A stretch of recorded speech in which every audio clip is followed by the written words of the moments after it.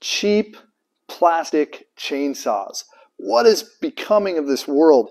Hey, we hear this all the time. Why are we using plastics on our chainsaws? It's going to break. Well, this is not a new thing, and this is not a Stihl thing. This is this is an industry-wide thing, and this has been going on for 30 plus years. This this move to some more plastics, more and more. Now, we still use metal, and we're using metal where it matters, and we're using plastic where it doesn't matter. Why would we want to use plastic?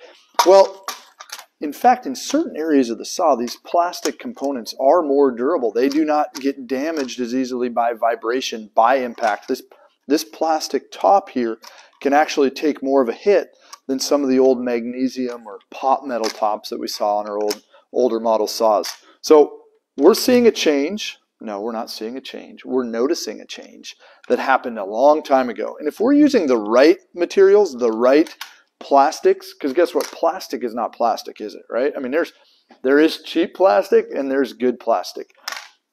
Stihl uses a lot of plastic components on the body or the outside areas of their saw. Their shrouding of sorts. So do not see a problem by going plastic on that do not see a problem by going plastic on the starter housing do not see a problem by going plastic on the clutch cover now we do see metal on certain saws so here is a Stihl MS291. This is a consumer version. This is around a $500 chainsaw. And we're going to look here to $650 roughly, circa 2022, by the way. Uh, MS261. So this is the Pro version here. Now, cover, still plastic.